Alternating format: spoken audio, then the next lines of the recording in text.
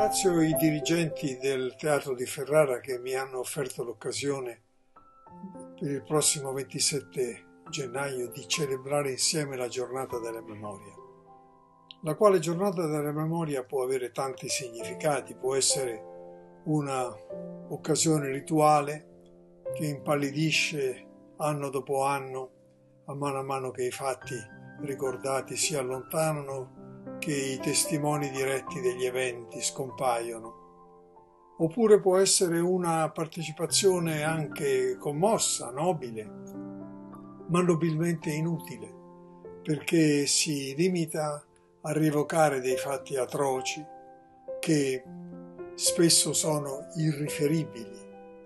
Oppure può essere un'occasione di conoscenza. E questo è forse il suo significato più alto. Conoscenza vuole dire ripercorrere insieme nella brevità di una conversazione teatrale non soltanto i fatti, ma le cause, i motivi che li determinarono.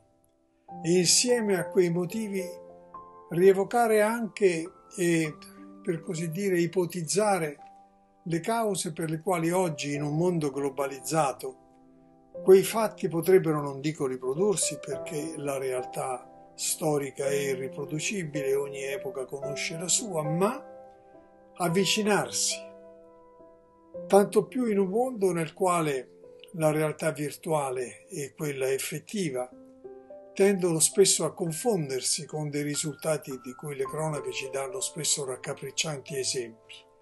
Ecco, allora se questo tentativo di conoscenza sarà non dico raggiunto, ma anche soltanto sfiorato, quella giornata potrà essere un'occasione di una qualche piccola utilità per la memoria di quanti vi avranno partecipato.